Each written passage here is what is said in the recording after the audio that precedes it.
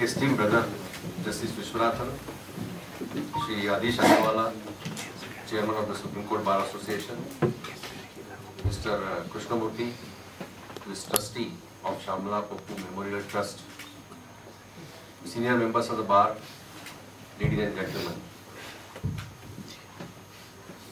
As uh, Brother Justice Vishwanathan said, this is a subject which is dear to me. And after I saw this small video film on uh, late Shyamala Pappu, I thought that uh, this was more appropriate subject because kind of legal aid work which she has done during her lifetime for which she received Padma Shri. I believe that even this topic would have been very dear to her. The concept of uh, access to justice has a prime place in our constitution. It is actually inherent part of uh, liberty granted under Article 21 of the Constitution of India. Access to justice is a very wide concept. There are different angles to it. Today, of course, uh, when I am here before uh, this August gathering, I will be expressing my personal views. Please do not understand, please do not confuse between the views of the Supreme Court and my personal views. So today I be expressing strictly my personal views. See, 75 years of existence of uh, Constitution and uh, 75 years of independence. I always believe that after India became independent and it became republic in 1950, every citizen of India had very high expectations from the legal system which was given to us by the constitution. The high expectation was that this legal system will provide him easy access to the justice. Access to the justice is not simply filing a, filing a case in court of law or lodging a complaint with the police. When we say access to justice, it has to be a quality and expeditious justice rendered at a reasonable cost. Merely allowing somebody to file a case does not mean that we have granted him access to justice. So 75 years of existence of a constitution, I always believe that we must look back and virtually conduct audit of how the courts have performed to find out whether the courts have really achieved what common man wanted the courts to do or whether they have really fulfilled the uh, expectations of the common man. As a judge of the Bombay High Court and as Chief Justice of Karnataka High Court even today, I firmly believe that uh, judges should not stay in ivory tower. And as a judge of Bombay High Court, I had number of opportunities to go to taluka places, to visit district places, interact with the lawyers, interact with the litigants coming to the court. Then I was set up part of the setup of Legal Services Authority. When in 2018 and 19 we had uh, three mega legal mega legal services camp in most difficult area, remote areas of Maharashtra. One was in Naxalite dominated area where we invited more than 25,000 people uh, to the camps and we ensured that uh, they get several benefits of various schemes of the government. So, and I've been going to so many law colleges, law schools. So, I've been interacting with all stakeholders. And my personal view, which I can gather from my interaction with all the stakeholders, is that the judiciary has not fulfilled the expectations of common citizen of India. In fact, we are lagging far behind. Maybe during last 75 years, you know, in functions like this, where bar and bench were together, we kept on patting our own back by saying that, you know, judiciary is the last resort for common man. Common man has faith in the judiciary. My personal view is that uh, whatever faith was there in uh, maybe 1950, it has eroded considerably due to various reasons. And the main reason, of course, is that we are not able to provide proper access to the justice, a quality justice and a justice at a reasonable cost. And therefore, in my view, we must find out where we have gone wrong. For all these years, we kept on saying that judiciary has done a good job, as I said, last resort of common man, etc. Therefore, we never applied our mind to find out where we are going wrong. Now we have we have to analyze where we have gone wrong. We have to also find out what we should have ideally achieved.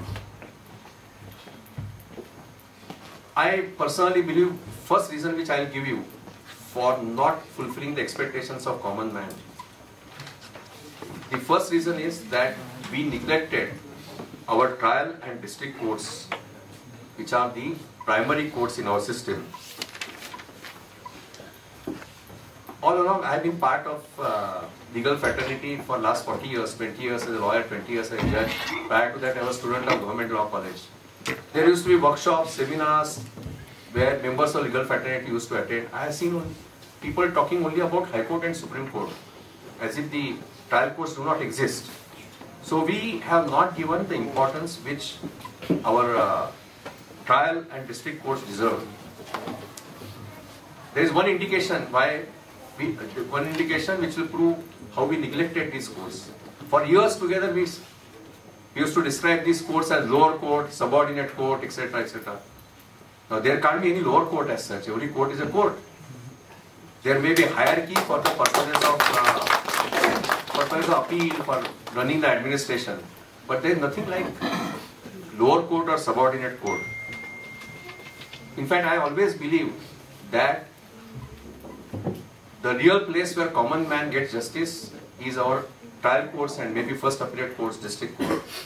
The reason is the statistics will, will tell you the story that in so many cases we come across, though a litigant does not succeed before our trial courts or first appellate court, he does not go to higher forum for various reasons. There are social reasons, there are economic reasons. Access to justice is one issue. So for a common man who cannot afford to have multiple litigations, perhaps these are the courts which are the final courts. And look at how we have treated these courts. All of you know that there was fifth pay commission, sixth pay commission and seventh pay commission. Of course, pay commission doesn't cover the judiciary. So last fifth, sixth and seventh pay commission, I can share what actually happened. After pay commission was implemented for government servants, the government thought it fit to amend the law and enhance the salary and remuneration payable to the judges of the constitutional courts. But in case of all three pay commissions, there was only one class of public servants which was the last to receive benefit of enhancement of pay and that was class of our civil and district court judges. Even after 7th pay commission, recently under the orders of the Supreme Court in 2022, a direction was issued to pay enhanced uh, salary at enhanced rate to our judges of the trial court and district courts. All other classes of public servants had received the benefit of pay commission two years earlier, even before onset of COVID. And the government does not do it on its own.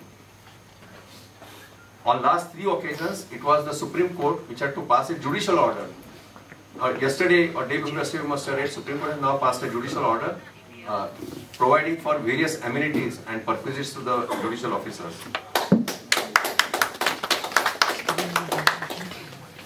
So therefore, this is the way we treat our uh, courts which are real courts.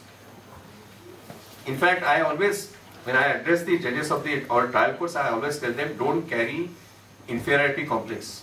You are doing the same job, equally important job, which judges of the constitutional courts are doing. So this is one reason why we are lagging far behind. We are not able to provide proper access to justice because we have not strengthened our courts at grassroots level. There is one more reason which which is one of the core reasons why we are not able to provide effective access to justice. In 2002, our Supreme Court ruled that in India there should be just to population ratio of 50, so 50 judges per million for 10 lakh population. And direction was to achieve this target within 10 years. So by 2012, the just to population ratio in India ought to have been minimum 50, 50. Today, we have not crossed 23 today in 2024. And look at the other jurisdictions all over the world, developed countries where they have just to population ratio of 80, 90, in some cases more than 100. Today in 2024, we are struggling at 23. There was one more effort made by the Supreme Court in one of the decisions in the case of Imtiaz Ahmad. The Supreme Court laid down a formula for calculating the just strength, how required just is to be calculated and direction was issued by the Supreme Court to every High Court. High Court should constitute a committee. Committee should work on uh, the formula and submit a proposal to the state government for increasing the number of posts. I happen to the chairperson, I happen to be the chairperson of the concerned committee in Bombay High Court. Going by that formula, we we found that additional 12,000 posts of judges of various categories will have to be created. So we thought, thought that though Supreme Court says it, we are too ambitious. So we reworked the whole thing and our proposal was for some 8,000 additional posts. Now this was done I think in 2016 or 17 pursuant to the orders of the Supreme Court. Other day I inquired, I went to Judicial Academy in Maharashtra. I was told that out of 8,000 8, posts demanded, uh, the government has so far sanctioned some 652 posts. So not even 10% of it. And then the other reason is that where is the infrastructure? In most of the states, the infrastructure of our trial courts is so poor. And uh, in Maharashtra, for example, for three years, Chief Justice constituted a special bench headed by me to deal with infrastructural issues of various courts. So under the orders of my bench, about 11 district court buildings were constructed. We issued writ of mandamus. We and it was like a continuous mandamus. So we ensured that not only construction takes place, but actually the utilization starts. And this is so in several states. Karnataka is one exception where government gives perhaps best possible facility to the court. But Karnataka is an exception. So I, I always give one very interesting example. Uh, I'm told that is so in various states. In Maharashtra, in all district places, you know, there is a designated place where all uh, top government officers and judges have their residential quarters. The district collector, the commissioner of police or the uh, superintendent of police, the superintendent of PWD, everybody is together in one locality. So whenever I used to go and visit many district places in Maharashtra maybe administrative judge, guardian judge or for official work, I used to always go for a walk in that area. And I said so in my public speech in Bombay and in Karnataka also, that if you don't see the nameplates on the houses, it is very easy to identify the occupant of the house. I always notice in Maharashtra, the best maintained house is of the executive engineer or superintendent engineer of PWD. then second category is of collector, commissioner of police, etc. And the worst house, houses, you can say that for sure that they are houses of judicial officers, where tarpaulin is, tarpaulin is used to cover uh, the house from leakages, etc. So this is the state of affairs. We always kept on thinking about our uh, constitutional courts and did not uh, pay any heed to the requirements of our grassroots level courts, which are the courts of common man. We, to some extent, even the legislature has contributed for clogging of our trial and uh, district courts or sessions court. All of us know section 138 of the Negotiable Instruments Act. A pure civil wrong is converted into an offense. And look at the scenario. Go to any metropolitan city in India, across India, where either there are courts of metropolitan magistrates or judicial magistrates. You will find that every magistrate has more than 100 matters on every day on the cause list and maybe 25-30% are 138 matters. That is how the legislature has clocked the uh, system. There is one more reason why our system gets clogged. One reason, of course, I told you, lack of infrastructure, lack of lack of manpower, and uh, these are the kinds of cases uh, with which the judges are flooded. One more area where we must work very hard. There is a remarkable change in our society during the last 20 years, as a result of which you see large number of matrimonial disputes being filed in the court. Go to any metropolitan city like Bombay, Bangalore, I can speak for these two cities. The family court is flooded with divorce petitions and restoration of conjugal petitions. And now what we see is if there is one matrimonial dispute, there is one, one or two matrimonial petitions, there is one complaint under section 498A, one proceeding under section 125, one proceeding under section 12 of DV Act, and unfortunately if there are children born from the marriage, then uh, custody proceedings. So one matrimonial litigation is creating five litigations at grassroots level and just count in numbers. Then there will be revision applications, appeals, 482 petitions, 227 petitions. So how much of litigation we are creating? You can see that from Supreme Court, those are practicing in Supreme Court, how many transfer petitions we get. And all transfer petitions, barring few exceptions, are in matrimonial matters. And every case we see there are multiple uh, litigations. Now, these disputes are going to virtually overtake our trial and uh, district courts or our family courts. And therefore, there are people who are genuine litigants, they have to wait in the queue for a long time. So, even the social changes are contributing to uh, clogging of our trial courts. And there is one more area uh, where again there can be a debate. Now, uh, what legislature has done to reduce the filing of cases arising out of matrimonial dispute. Now, some of you know there is a Commercial Courts Act where uh, before filing, conciliation is mandatory. It's a pre-filing conciliation.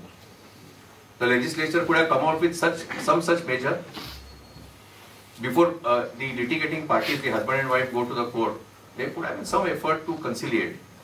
In fact, making a little departure, in Bombay High Court we started an experiment uh, when I was chairperson of the Legal Services Authority. We set up a center known as Let's Talk. We invited uh, all leading universities like Bombay University, TISS in Mumbai, uh, SNDT University to depute their heads of the Department of Psychology. And through them we procure services of expert counselors and the scheme is, we told the police, we called police, they are social security branches. The moment a wife or husband comes to you for filing complaint, please refer them to this center, Let's. So that even before legal proceedings are taken, our counselors will try to either patch up the dispute or maybe uh, convince the parties to a golden handshake in the sense that apply for apply for dissolution of marriage by consent. For one year it worked is working in Aurangabad and some smaller places. But such experiments have to be done on larger scale and such experiments must be backed by provisions of law.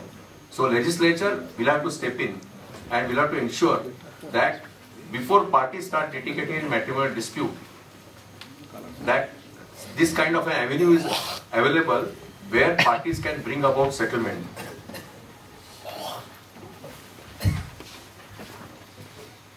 There is one more aspect of the matter. I always believe that our courts and legal system exists for common man. But look, look what we have done. Now we have Commercial Courts Act, a separate setup for commercial uh, commercial disputes, separate procedure, and uh, we received communications from Government of India to establish dedicated commercial courts. And Bangalore was the first city where we had dedicated commercial courts, very modern courts with all the amenities. The question which I asked myself, I may be wrong there, these commercial litigation does not constitute even 5% of the total litigation in India. So why are we giving priority to these commercial cases when cases of common man are not reaching in the court? So this question we have to ask to ourselves and to legislature also that in country like India, where for smallest thing person has to go to the court, what is the propriety of creating a special class of commercial cases and uh, providing that cases should be given priority. So now we have just see the provisions of Commercial Courts Act. Now almost all our senior civil judges, now they keep on giving priority to the commercial cases because there is a time bound schedule under the Act. Now there are reasons and reasons. One example I'll give and I'll go to the next topic. There is a prohibition law in Bihar. So, prohibition law resulted into filing huge number of bail petitions. So, percentage, percent, speaking percentage wise, the filing increased by 30 to 40 percent. And therefore, we had a scenario where more than half of the judges in Bihar, they uh, take up uh, bail matters or maybe questioning matters. So these are the legislations also which uh, bring about a situation where common man is deprived of access to justice. Now there is one more area where we are lagging behind. We are not able to have a consistent policy about our priorities. You know, there are various categories of cases filed in the court. To give an example of a civil court, there is a simple money suit, there is a suit for partition, there is a matrimonial dispute, there is dispute over inventory rights, there is dispute over specific performance of the contract, so many cases. Now, we don't have a policy which decides which cases should be given priority.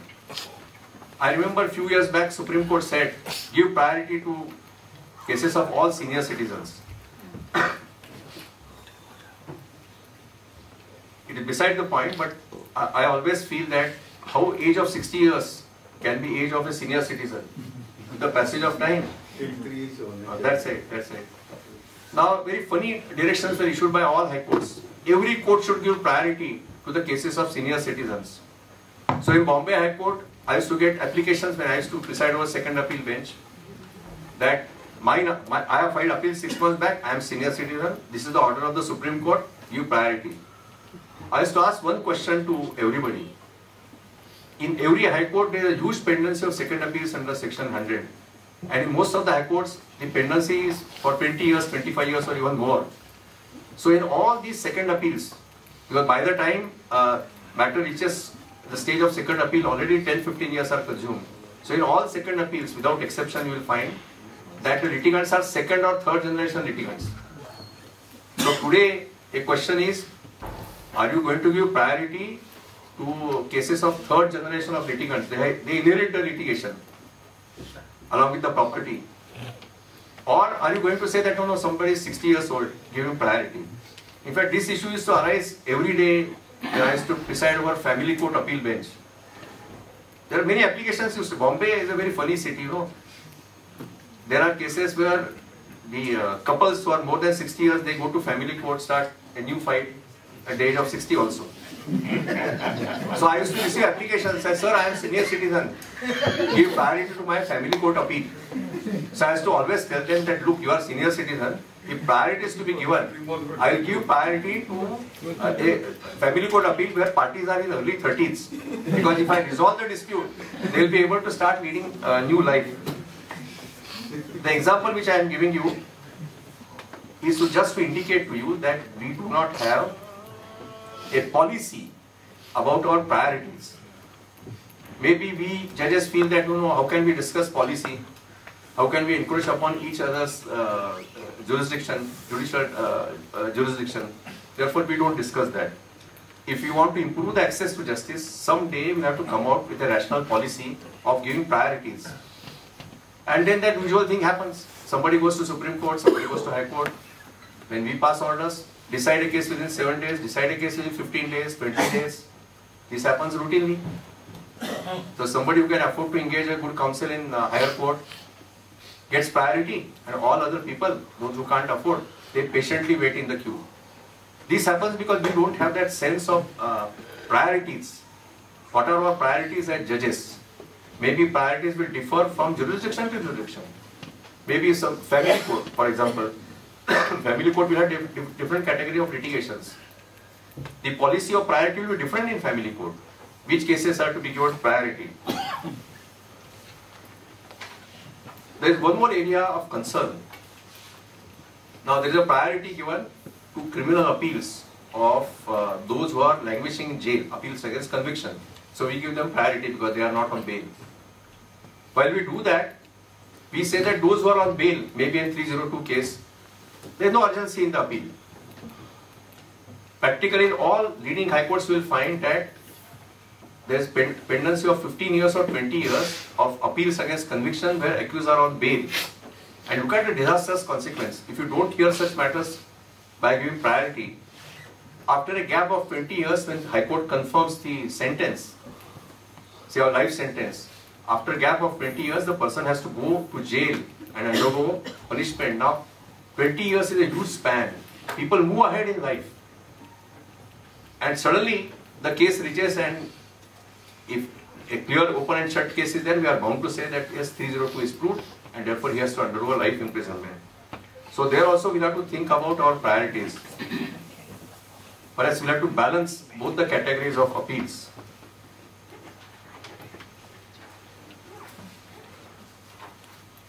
Now, one solution for improving access to justice was found by legislature by legislating Legal Services Authorities Act 1987. In fact, the concept of legal service uh, under the act is completely different. It is not merely about you know giving uh, assisting parties to file a case or in a court of law to defend a case in court of law. It is something more, the legal services. I'll make little departure from this. I refer to the camps, mega uh, legal uh, services camp which we held. Now we thought that what is legal service? There are schemes of the government. I'll tell you one is Sanjay Gandhi Niradhar Yojana. There is a scheme of the government where if you are below poverty line, you will guess, uh, get a cooking gas cylinder and some other equipment in kitchen. Some farmers get some equipment, agricultural implement, uh, implements. So we realize that though these schemes are there, the common man, the poor person, he does not know that schemes are available. So our what we did was we ensured that all these people who are entitled to this benefit of scheme, they applied for benefit of the scheme, and we ensured that one month before the uh, camp was held, actually these applications are cleared, and when all these people, about 30,000 people appeared, uh, notionally we distributed the certificates, making them entitled to that scheme. In fact, startling experience I have, kind of world in which we live. We had set up a counter for Aadhaar card and PAN card. Half of the persons, we had one camp in Naxalite dominated area near Nagpur. Half of the persons were not aware what is Aadhaar card. Forget about PAN card. Though by that time there was a rule that your account will become inoperational if you don't have Aadhaar card. So this is a wider concept of uh, justice or legal services. And this wider concept is incorporated in the Legal Services Authority Act. Now, who gets legal aid under the Legal Services Authority Act? Section 12 provides for various categories. One category is that uh, one who belongs to scheduled caste or scheduled tribe, a woman, a child, then uh, victims of uh, mass disaster, ethnic violence, caste atrocities, etc. They are all entitled to free legal aid. There are several categories. Now, one category very interesting. Now, today, one reason why person cannot afford to approach the court of law is poverty. Now, we need to amend this section. There is a clause in uh, section 12 which says that in case of uh, a poor person or belong to weaker section, economically weaker section of society, under clause 8 of section 12, he will get free legal aid for filing proceedings in all courts except Supreme Court, provided his yearly income is less than 9,000 rupees. So his monthly income is less than 1,000. In Supreme Court, is, I believe, is 12,000. Uh, this requires amendment. Now today the rate of minimum wages has gone up. But here we are lagging behind. In fact, very interesting move was made. I, I am not able to get information by the Supreme Court. Brother Justice Vishwanathan may be aware of that. The Supreme Court felt that those who belong to middle class of the society, they are not able to afford lawyers. And therefore a society was registered Yeah, this- Society Registration. Society, Supreme Court Middle Income Group Correct, correct. Now, I don't know how far uh, it is functioning effectively. is uh, functioning, I was secretary and treasurer. Correct. Uh, It it is one of the very good schemes because That's it. many get out of this income bracket and they are unable to afford the fees. But today, nobody can get covered by this. So for, uh, for fifteen thousand plus fifteen, they are able to get service throughout. a number of people are availing it. Only the problem is, unlike the Supreme Court legal aid, middle income has no grant. That's right. So they go by, uh, you know, the money which the litigant gives or costs ordered by the court. At that time, we, what we felt was we, for High Court, we constituted a panel of lawyers, used to ask them to appear pro bono. So I, now in new role, the suitors fund, whenever there is no claim, Right. send it, but I disclosed to them that I was once one suitor. So therefore, uh, whether Legal Services Authorities Act has really made access, access to justice more easy. And as Brother Vishwanathan has said, this is one class of the society, middle class, somebody, you know, uh, somebody is a small-time worker, somebody is a small-time trader, somebody is a primary teacher. If they are required to go to the uh, court, how they can afford to engage a lawyer? And it's not engaging lawyer in one court, we have hierarchy of appeals, revisions, etc. Before I close this topic, only one illustration I'll give you. In 2012, I was sitting in Aurangabad bench of Bombay High Court, heading a writ bench. So we used to receive so many uh, uh, petitions for writ of mandamus. In Maharashtra, the scheme of the government that certain schools are fully funded by the state. So salary of the teachers uh, and all other expenditure comes from the government. But there is a rule which says that even in such school a teacher is to be appointed, he cannot be appointed without prior approval of the education officer of the Jilla Parishad. And uh, we were flooded with petitions that asked the education officer, writ of was directing him to grant permission. So I was, I thought that why we should be flooded with such matters. My colleague was a very distinguished judge who was born and brought up in that Marathwada area. He said, sir, this is a very genuine difficulty.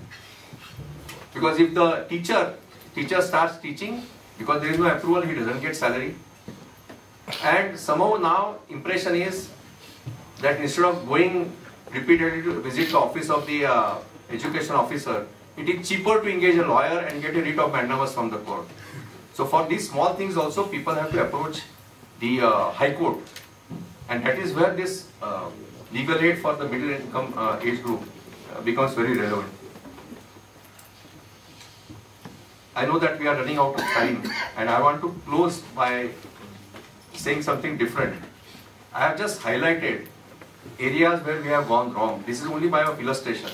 It requires great deal of research, collection of data to find out exactly where we have gone wrong and exactly why we are not able to fulfill the aspirations of common man. There are a lot of expectations from the entire setup of judiciary. When I talk about judiciary, it also includes the lawyers. So there were expectations. Those expectations remain. But somehow there are many who feel that we have let common man down. There is one more very important issue which even exists today after 75 years of independence. We talk about helping somebody to go to the court. And we talk about what is known as docket explosion. So there is a docket explosion all over courts in India. But even today, please talk to those who work at grassroots level of the district legal services authority or taluka legal services authority. Even as of today, by reason of maybe social reasons, maybe economic reason, maybe any reason, today there is a large class of citizens who even do not think of approaching the court of justice for getting justice and they keep on suffering the injustice silently.